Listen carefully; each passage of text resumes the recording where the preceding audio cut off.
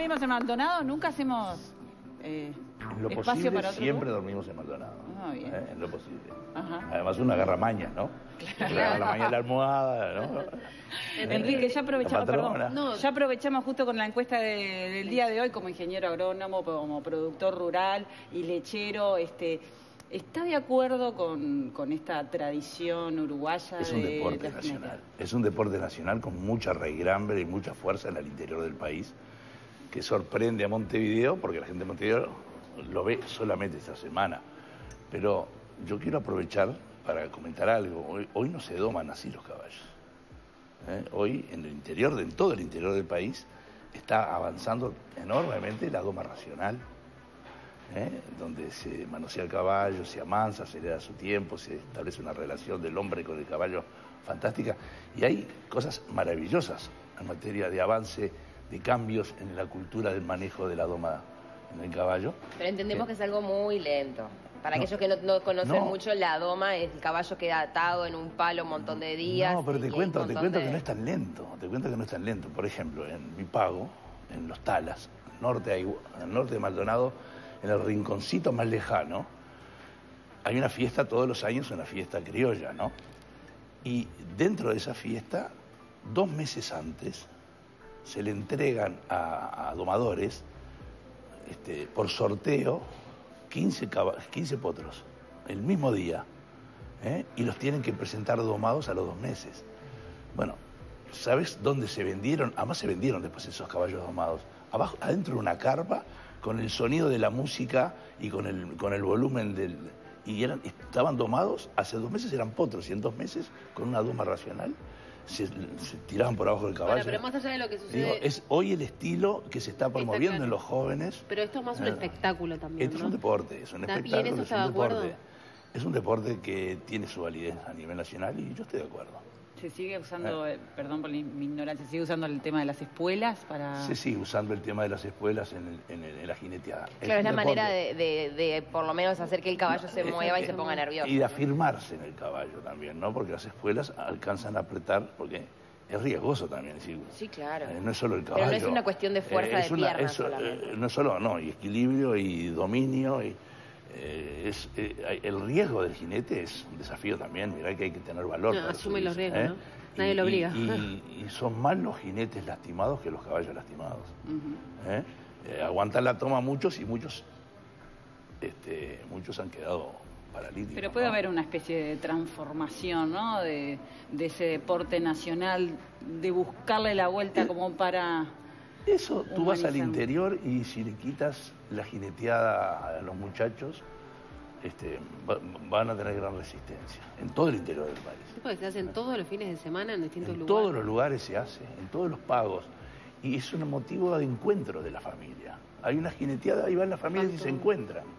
Y claro, en también en. España muchas veces se decía, bueno, sí, es un momento de encuentro ir a ver cómo matan a los toros. O sea, en realidad Claro. es- es- son cuestiones de tradiciones que de tradiciones cambiando. históricas y, y bueno, y, pero el día que hay un- un- un- una jineteada también hay un pericón ¿eh? y hay un partido de bochas de pronto, es decir, es un lugar, es, siempre se encuentran, en- es tradición en todo el interior del país más profundo, en el lugar más profundo, generar un evento de estas características para, para, para motivar, porque hay que estar ahí, lejos de todo, ¿eh? ¿Eh? y este, lejos de las diversiones, no, no hay cine, no hay otros espectáculos, no tienen, no Claro. tienen Igual no, no, no, eso no quita de que se Pero es- permitan ese tipo de cosas, digo, que Pero se se, pueden se ir... han criado, se han criado con, con- con eso. Eh, si vamos a ir al extremo ese, bueno... entonces- Claro, hay tradiciones no, no. en otros países No, que también han nacido con esa tradición y no por eso estamos de acuerdo, ¿no? Es muy difícil, uno se pone a, comentar esto y de repente como, claro, soy de la ciudad, gente me de- del campo que- que... me dice, sos una ignorante, o de repente Pero no sabes nada, está pero bien- no tengo por qué estar de acuerdo. Me parece que es está bien que de- se, se cuiden los detalles. Por ejemplo, en los raids hípicos antes no había controles y había desastres. Bueno, hoy hay controles y no hay, no hay desastres. A mí me tocó ver alguna vez una cosa horrible en un raid hípico donde había 10.000 personas y vi morir siete caballos. Un desastre, una cosa horrible. Era un raid pirata, de esos que no tenía controles. Hoy hay toda una organización de veterinarios que le controlan el pulso, que le controlan este, y que han avanzado como deporte y además se ha transformado ese deporte en un, en un motivo de ingreso porque el- el- el- se han vendido caballos para todo el mundo ¿eh? y hay mucha gente trabajando en ese entorno. ¿no? Es decir, hay que ir adaptando, me parece, a, a- a la nueva realidad de la humanidad y con las nuevas tecnologías supuesto, los, claro. las- la- la- los procedimientos de la historia. ¿no? Antía, le cambio de tema. Eh, vayamos a hablar un poco de su vida, de, de su infancia. Eh, la vivió en Punta Carretas. ¿Cómo llega de Punta Carretas? ¿Cómo llega a Maldonado? Y- ¿Cómo se hace esa transición? No, fue bien sencilla, porque la familia siempre tuvo una historia en Maldonado con una granja de frutales familiar, que era donde nosotros íbamos todos los veranos de chicos y donde había una tradición en la producción agropecuaria, ¿no? Manzanas y perales, una granja importante. Este, y bueno, trabajábamos en las cosechas, trabajábamos en las podas, changábamos, hacíamos un peso, le pedíamos al tío que nos dejara trabajar y hacer algún peso en las podas, en los injertos, en las cosechas. ¿eh? Y siempre ese amor, ¿no? De estar afuera. Y bueno, cuando llegó el momento de, salir a encarar la vida, yo estaba terminando mi carrera, hice la tesis mía de, de- plantación de tomates. Y yo tenía una plantación de tomates y vendía tomates en la feria Maldonado.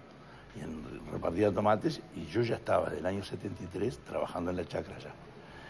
Estando allá, en el tomate y estando trabajando en la chacra, se, inaugura para, San- para el departamento de Maldonado una planta pasteurizadora de Conaprole y yo me fui a la planta a buscar trabajo. Y bueno, enganché un trabajo muy importante de desarrollo. Yo estaba recién recibido ¿eh? y trabajé más de 20 años promoviendo a los productores de la zona. Es decir, un Y ahí tema la laboral. oportunidad de poder ir a vi- ir a vivir ya. Y yo ahí. ya estaba viviendo, Ah, antes bien. de estar trabajando en Conapro, yo ya estaba viviendo ahí porque había decidido irme a trabajar a, a- a la producción. ¿eh? Mi padre, que venía de Salto y se tuvo que mudar a la ciudad chiquito, de tres años porque murió la mamá. Y, este, y, y en aquella época, este, cuando muere la madre, había, era muy difícil para un hombre solo cuidar, entonces lo- se mudó a Montevideo con el padre que tenía unas hermanas solteronas que ayudaron a criar los hijos. Y mi padre quedó siempre con aquello de volver al campo, y siempre soñaba con aquello de volver al campo. Su padre que fue Eh, arquitecto. Que fue arquitecto nació en Salto. Siempre con aquello de volver al campo, con aquello de volver al campo. Y eso nos fue permeando a nosotros, ¿no? y, me decía, no seas arquitecto porque no tenés trabajo. ¿eh? Y él, él siempre me apuntaba. Y ahí, bueno, fue... ¿Y tu mamá? ¿De, Y mamá, eh, fue mamá, tu mamá? de ocho, De ocho. que era bastante- Uf, bastante trabajo. ¿Cuánto trabajo? Y, y además siempre trabajó. Ajá. ¿eh? Maestra, Siempre- ¿no? No, profesora, perdón. No, no, no. No, mamá, ah, tenía entendido que no, Trabajaba en la policía, mamá. Ah, bien. Ajá. Eh, se jubiló en la policía. Trabajó, eh, entró con funciones administrativas, fue directora del Servicio Social de la Policía muchos años. Fundó el Servicio Social de la Policía. Este, y trabajó siempre en el área social. ¿eh? ¿Y cómo fue la vida con tantos hermanos? Divina. Entonces ¿eh? el Yo mayor, ¿no? Yo soy el mayor y bueno, eso te obligaba a ciertas responsabilidades. ¿no? Eras el más rezongón. éramos todos seguidos. ¿eh? ¿Eras el más rezongón? No. No, no, no, no, pero me, me imponía, ¿no? A veces. Porque los viejos laburaban todo el día y entonces en casa teníamos algo que eh, era divino en el Uruguay de antes, ¿no? Y hoy existe muchas cosas. La presencia de una abuela que vivía con Ay, nosotros. lindo. Eso era claro. importante. Muy importante para, para todos nosotros, ¿no? Era eh, una, una madre también segunda que nos usía las medias, nos arreglaba el uniforme, nos ponía los botones. eh, Porque mamá laburaba todo el día y llegaba con mucha energía de haber trabajado en muchas cosas y bueno, a ser madre, ¿no? Y era flor de madraza. ¿Se hablaba de política en Siempre, la casa? Sí. Siempre porque se mili- fue una familia muy militante en política, siempre. ¿eh? Y, y Siempre por el Partido Nacional. siempre por el Partido Nacional. eh, Mis padres este, militaban desde, desde jóvenes ¿eh? y nosotros aprendimos a, a poner cartelería con la época que se empapelaba con engrudo y armábamos el engrudo y teníamos 12, 13 años y salíamos a las pegatinas.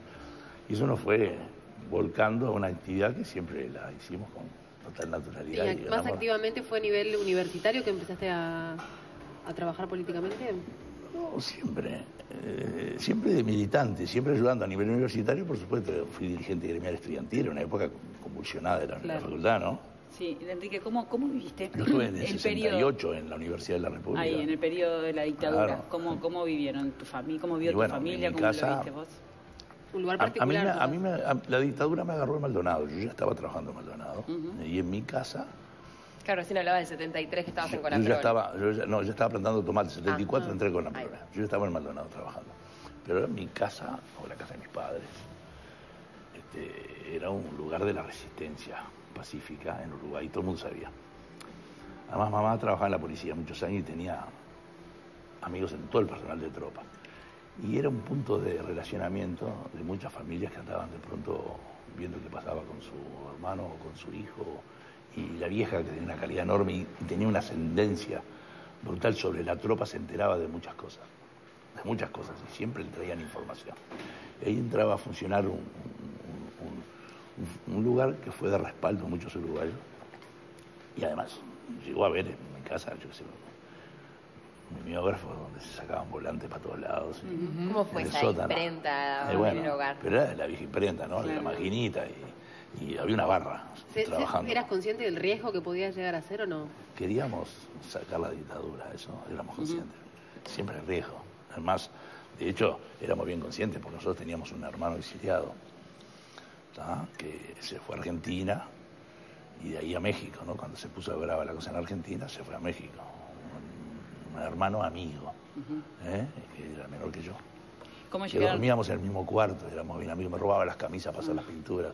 Ahí él iba a pintarrajear para el Frente Amplio y me robaba las camisas que yo me, laburaba vendiendo huevos y me, costaba un Perú comprar una camisa y me las traía todas pintadas de pronto de rojo, pero éramos amigos, de verdad. ¿Cómo conocieron a Wilson? ¿Cómo, cómo fue ese acercamiento? Mamá y papá los conocían de antes, ¿no? De la juventud. Y militaron juntos y formaron juntos cuando se armó la lista 400, que Wilson entró a trabajar, ellos ya estaban trabajando juntos. Eran amigos personales. Y, este, y de hecho, amigos de la confianza, ¿no? ¿Eh? Y de, de encontrarse muchas veces con una barrita de amigos que tenían, con el Polilla García Costa, con Wilson, ¿eh? José Claudio Willy, Manuel Horacio Terra, había toda una barrita muy importante de amigos, que eran todos amigos de Wilson. Y, y Wilson fue un tipo bien importante en la familia, porque además era un tipo muy afectivo, ¿no? Era afecto. líder nato, ¿no? Claro, un tipo afecto. Y, y yo me acuerdo en, en mi casa, una cosa muy, un recuerdo que tengo, recuerdo el primer recuerdo fuerte que tengo de Wilson es que en mi casa se armó la famosa interpelación al ministro del Interior en la época del gobierno de Pacheco al final. Se armó en casa porque empezó a llegar información de, de trucheces varias en el manejo de la jefatura de policía del Ministerio del Interior, denunciadas por los policías que eran amigos de mi madre, por el personal de tropa, ¿eh? y que le traían información. Y esa información se, empezó a gestar en casa. Había, todos los días había cinco o seis policías con denuncias concretas, que Wilson venía de tardecita, los atendía, los escuchaba, sacaba la información, traían las pruebas, conseguir. Y ahí se fue armando aquella interpelación que terminó con el ministro y el jefe de policía, la famosa interpelación de Wilson. Este, y ahí lo veíamos todos los días, llegaba, hola, ¿cómo te va? Pim, pim. Pero se iba para el, para el, para el living donde la- iba entrevistando a la gente. Esa fue la primera presencia fuerte de Wilson eh, cuando éramos muchachos, ¿no? El año, estamos hablando de año 71, ¿eh? ¿Y cómo Ah. vivieron el exilio y después Bueno, el regreso? eh, ¿Dónde te encontró el regreso de Wilson? No, ¿Dónde yo- estaba? ¿Lo fuiste a Yo estaba en Maldonado y fuimos al puerto. Fueron al ¿eh? puerto. Venimos de Maldonado, pero mi madre venía en el barco y mi padre y mi hermano presos. Mi hermano más chico y mi padre estaban presos porque habían militado para convocar a los, a los uruguayos para el regreso de Wilson y ese día estaban en Cana. Mi vieja venía en el barco y bueno, y nosotros fuimos todos a... La verdad que una- yo me acuerdo de aquel episodio, ¿no? Una vergüenza, el, el puerto cerrado con contenedores, parece que iba a la guerra, ¿no? un mamarracho. ¿eh? Pero, pero una señal de, de- de- de- Veíamos que se acercaba la época de la libertad y por eso habíamos luchado mucho y, y Wilson nos había mantenido, nos había mantenido con esa ilusión vivo, ¿no? ¿Cómo con- Ahí armamos nuestra militancia, nosotros Ahí, pero- militamos, nos formamos en esa, esa militancia antidictadura, que no fue fácil, ¿no? Yo lo hice en Maldonado, en casa también veníamos y hacían, pero porque la verdad que en Montevideo del Partido Nacional era uno, era el baluarte de resistencia eh, juvenil Además había, yo que sé, una barra de gente joven, que hoy muchos son senadores y diputados, estaban en esa barra, militaron en esa, en ese, había hasta una murga, teníamos hasta una murga y se- que funcionaba y cantaba muy bien y nos divertíamos y a veces nos juntábamos para, para bueno, para ver cómo encarábamos. ¿eh? ¿Y su decisión de ser candidato a la intendencia en aquella oportunidad, cómo, cómo no fue una decisión mía. Lo que pasa es que en la dictadura yo trabajé mucho en Maldonado. Eh, mi primer discurso en la calle lo hice en el 80, en plena dictadura. No había muchos que se animaran a hablar en la calle en aquel momento. Y ahí, no- yo me acuerdo que me fui, yo estaba en el tambo y me fui de Bombacha, fue en Aiguá, allá al norte, donde tengo el tambo. Y, este, y bueno, a partir de ahí me empezaron a, a- a involucrar en otras cosas.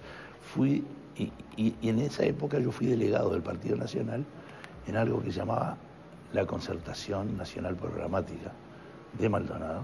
Y en esa concertación este, eh, había representantes de distintos partidos que estructurábamos una, una militancia para ganarle a la dictadura, ¿no? En aquella época del plebiscito, del 80, de, después de las convocatorias de las internas, ACF y toda esa historia. Y, y- y eso me llevó a ser edil. Por mi militancia fui edil en, en- en los años, de en el primer gobierno de recuperación de la, de la democracia, que Maldonado ganó Benito Ester como intendente. Y la lista más votada fue la que nosotros, la de Wilsonismo, la de Miguel Galán, en la cual yo era el edil número dos. Y eso me involucró en la parte eh, activa de la política. Después dejé un, tiempo y cuando fallece Burgueño, se estaba, fue la primera vez que había elecciones internas. Entonces, ahí aparecí como candidato porque el- un grupo me impulsó porque no era, no le conformaba a ninguno de los tres candidatos que naturalmente se daban en forma de, digamos, para la sucesión de Burgueño. Uno era el secretario general, otro era senador, otro era diputado, y yo no era nada y nos impulsaron, un grupo de gente de trabajo y nos impulsaron y bueno, fue, muy lindo porque no nos apoyó nadie ¿eh? en el partido. Ninguno de los tres candidatos a presidente de la interna nos apoyó. Y nosotros con ese grupo local, de toda gente de trabajo que teníamos muy poca, mucha militancia, pero muy poca actividad política, les ganamos a todos. Y ahí entré como candidato intendente. ¿Qué significa para usted eh, la actividad municipal? Un servicio permanente, no hay nada más lindo que servir, que lograr cosas para tu comunidad. Es, eh, mira, yo, yo hice actividad privada y pública, ¿no? Hice mucho, mucha forestación, planté muchísimos árboles, hice muchos jardines. Nada como plantar una palmera o un árbol en una plaza o, o en una rotonda y verlo crecer. O en un barrio. ¿eh? Y pasar de pronto por la avenida Iguá y decir, esto me acuerdo que yo lo planté. ¿eh? Y, y hoy es una sombra para el vecino. Y esto me acuerdo, mira qué lindo está este, este gomero en esta rotonda que está vistiendo y ordenando el tránsito. Y mira esto. Mirá las palmeras. Yo me acuerdo que, por ejemplo, eh, conseguimos gratis unas palmeras, que, las palmeras de la Mansa, de la Barra, de, de Punta del Este. la- entonces ese paseo de las palmeras, no había nada, y era un basural. Ahí era un lugar donde se tiraba el escombro de las obras, arriba de la roca, una cosa impensable para el mundo de hoy, demencial. Bueno, hoy ese paseo, ¿eh? y donde están esas palmeras, eh, no había nada. Fueron, las encontramos amontonadas en un vivero abandonado de vialidad y, y las conseguimos donadas por el ministro de aquella época, que era Wilson El y las plantamos. Y bueno, hay nada más lindo que ver en, en- en tu, en tu departamento, en tu barrio, el progreso y ver el progreso de la gente y, que la gente te agradezca los servicios, yo sé, pequeñas cosas que puedes hacer, ¿no? Por el vecino, pero de- para el vecino son inmensas. Eso, Enrique. esa sonrisa que recibís es un aliciente para encarar lo que venga y Te aguantar llevo- todas las cosas feas que tiene la política. Te llevo a un plano, al plano personal nuevamente. ¿Cómo conociste a tu señora? ¿Cómo empezó la relación? Fue bastante rápido, porque una- me la presentó un amigo, ¿eh? este, Un amigo que tienen en común. un amigo que, que- que tenía, que salía con una amiga de ella. Esas cosas que. Además yo estaba en el interior, estaba en Maldonado, no, no, no, no estaba desconectado en eso, tenía mis amigos allá. Pero me invitaron un día, venía a Montevideo y bueno. y Claro, no había WhatsApp como para mandar No, una no había ni teléfono. Te mando una foto. No había ni teléfono. Ustedes son muy jóvenes, pero cuando yo me casé... no llegaron, no, no- Cualquier no era la tipo de época del teléfono. Cuando yo teléfono. me casé y fui a Maldonado, cuando me casé y fui a Maldonado, no teníamos teléfono ni para hablar con la familia. No había borne. No, íbamos a la terminal de Antel y sacábamos boleta, un número, y estábamos tres horas para, para... Dentro de tres horas venga que tiene llamada a, Maldo, a Montevideo. Y Era había una telefonista que escuchaba todo. Todo. Era un tema. Era la amiga de todos nosotros. Hola, ¿cómo te va? Bueno, ¿con quién quieres hablar hoy? Claro. No, por eso. ¿Y cuántos años de matrimonio? A unos cuantos, 43. Bien. Eh, la semana pasada eh, festejamos los 43 y cinco hijos. Cinco hijos. Está bueno. ¿eh? Y el matrimonio que hay que cultivarlo todos los días, ¿no? Claro. Ustedes son bien jóvenes. Hijos viviendo acá, hijos viviendo también en el exterior, tengo la familia partida ahí, ¿no? Porque tengo dos acá con cuatro, con cuatro o tres cuartos nietos y dos en, en- en Madrid, con una soltera y una con dos nietos y uno en Inglaterra con el tema de los barcos. O sea, ¿Hace tengo tres afuera y el año pasado se fue un año y medio y dos años y medio. En los últimos dos años y medio, tres años se fueron los tres. ¿Qué sentiste cuando venía a decirte que se iban? Y bueno, fue duro, ¿no? Porque yo- una, una- de ellas había ido ya hace unos años y fue duro. Ahora fue más duro porque Están los nietos los también. nietos, ¿no? Y, por ejemplo, hace dos navidades, Elena, que era la mayor de mis nietas, una gurisa con una calidad, una bailarina de tango y de milonga que, que integra el, el grupo de Gardeliando, que es un grupo famoso en Maldonado de, de- de- de- de baile y de canto. Me bailé unas milongas con Elena y bueno, eso no iba a poder ser, ¿no? Perderte la, la crianza. Esa es la parte brava. Claro. Y se fueron por trabajo. Por trabajo, por trabajo. Los- En los tres casos. Se fueron por trabajo en los tres casos. En dos casos, la inmigración además es un en tema. dos casos se fueron por trabajo y en uno por elección, porque su vocación es el mar. Claro, estás Y- hablando del caso de tu hijo. Claro, su vocación es el mar y está, hizo cursos de capitán y está, está navegando por el mundo, Participa compitiendo en regatas, regatas. compitiendo en regatas en el mundo y está, está en eso. Y es, es lo que le gusta. Él se recibió, estudió de contador, trabajó dos años de contador con la hermana acá y dijo, no, papá, el mar es lo, que, es lo mío y era un gran corredor de olas y un gran nadador y se fue para el mar. Y usted la, la inmigración es un- una cosa que le preocupa. Y seguro que te preocupa porque preocupa porque en estos últimos tres años se fueron 40.000 uruguayos y, y es, durísimo. Para un padre, para una madre, para un abuelo, es duro. Y fíjate, yo pude ir a verlo. Mi señora este año fue a ver a la nieta cuando cumplió años, porque teníamos recursos económicos como para ir, pero no todos lo tienen. Entonces la división de la familia, más allá de hoy que lo ves por celular y podés hablar, que eso facilita mucho, ¿no? La verdad, la comunicación es otra cosa. Es duro no poder compartir un mimo, el crecimiento, una sonrisa, un partido de fútbol, los avances, ¿no? Sí, además de la parte de la vida. que cada vez. Claro, sobre todo, más. sobre todo cuando uno es familiero y uno valora lo que es el entorno familiar, la familia, ¿no? Entonces, esa- la falta de eso es, es bravo, ¿no? ¿Cuál fue- no, se lo, no se lo recomiendo a nadie. ¿Cuál fue tu consejo cuando te venía a decir que se iban? No, no, digo, ¿están seguros? Este, ¿Saben lo que hacen? Miren que no es fácil. Sí, sí, bueno, yo los apoyo. Ya tenían trabajo allá cuando se No, iban. no, una, ten- una tenía trabajo porque le hacía consultorías a una empresa española para toda América, consultoría de medio ambiente. Ella es química y hacía trabajo. Pero se, se presentó un concurso acá. Lo ganó por puntaje a rabiar y lo después la descalificaron en el área psicológica. Mal descalificada. ¿eh? No quiero hablar de... pero ahí hubo un man- manotazo político. ¿eh? De ser Se- la hija de. por ser la hija de ella, agarró una rabieta y dijo, papá, esto no da más para mí, y se fue. Y hablando de eso, de ser la hija ¿Eh? de... Eh, fue duro para ella porque, sí, pues la gente pensaba, "Bueno, es el intendente, ¿cómo no va a dar, conseguirle trabajo a los hijos? No, no, es duro.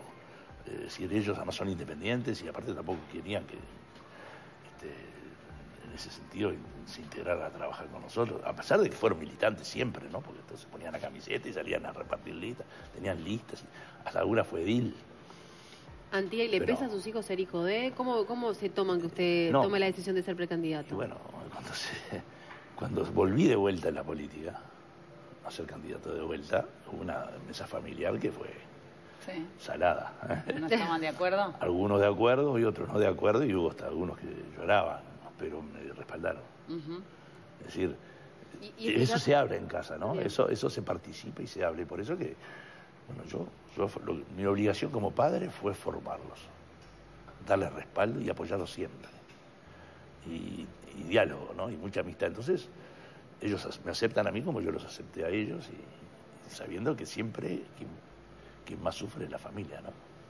Y ahora, justamente hablando de, de los jóvenes, ¿qué está faltando para incentivar a aquellos que se fueron y a aquellos que están, están con ganas de irse a, a que se queden? Yo estoy preocupado porque veo en, en- en- vi en mis hijos, veo en amigos de mis hijos, veo eh, en la, en- en la generación que la intercomunicación que hay hoy con el mundo, hoy, este, los tienta a buscar otros horizontes porque ven oportunidades en otro lado que de pronto acá no las ven.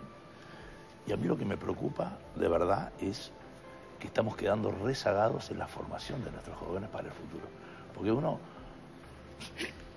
yo tuve la suerte de, de- apoyar a mi familia y formar, y que mis hijos se formaran, ¿no? Y que se prepararan. Y yo, lo único que te voy a dejar es que se preparen. Y hoy, gracias a que están preparados, han encontrado nichos de trabajo en distintos lugares. Pero el que no está preparado es horrible, está condenado al fracaso. Y ahí viene desde el fracaso personal, el fracaso familiar y todo, todo un tema que es una degradación de, de los valores, ¿no es cierto?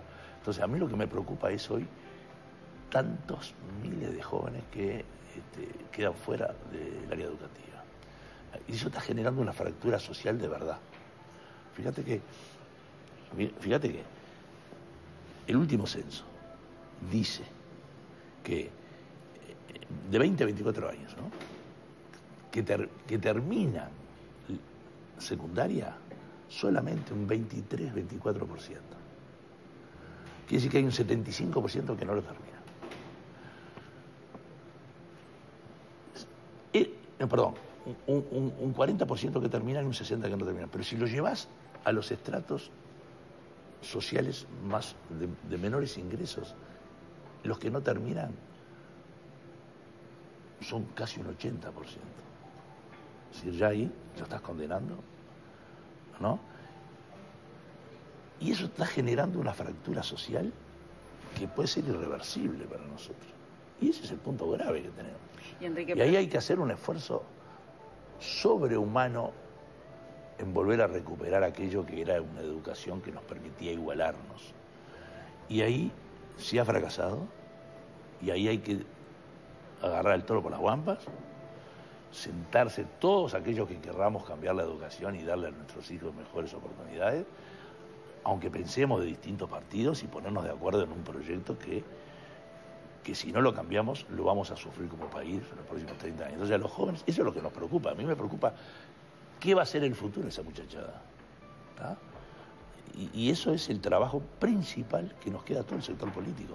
Y yo por eso yo, yo- yo estoy, y en mi grupo político estamos de acuerdo con, digamos, la idea básica que transmite el, el UI21, que, que es una mesa grande con especialistas de distintos partidos, pero que tenemos que ponernos de acuerdo en determinadas cosas para cambiar la educación, porque así como vamos al tacho. Y, no es que vamos al tacho por un eslogan, vamos al tacho porque vemos a los jóvenes que se están postergando y quedándose. Y el Estado no puede estar ausente de eso, no podemos. Es decir, si hay algo en que trabajar es en eso. Porque eso, pero eso requiere un modelo de 20 años, ¿no? Y para tener 20 años precisas una mesa más grande, ¿no? No de un partido, ni siquiera de dos. Esto es de todos aquellos que quieran, ¿eh? porque es el principal objetivo. Enrique, bueno, cerramos la mesa. Siempre le pedimos al invitado que dedique el brindis de, de este día. Así que, ¿a quién se lo dedicas o a quiénes se lo dedicas? No, por ustedes que son jóvenes y por todos los jóvenes que, que- de este país que, que encaren, que encaren y que no sean presidentes de las cosas que pasan, que se involucren, porque mira que hay que hay mucho para ordenar y para hacer, de verdad. Así que, Salud. por ustedes que son Salud. jóvenes y las veo además sonrientes y, y de buena onda. Gracias por. Porque, pero si no le pones buena onda a la vida tampoco sacas duda cosas, ¿no? sí, ¿Eh? Claro, Así que sí, una actitud, 100% actitud. Muchísimas gracias eh, a por por acompañarnos. invitarme un, un lindo, un lindo rato. ¿eh? Bueno, me alegro Chao. mucho. Tan lindo que ni siquiera me dijeron tomar el café. No, no, ahora, ahora en la pausa tenés todo el tiempo del mundo. Pausa y ya volvemos. Para que Muchas pueda regresar Maldonado.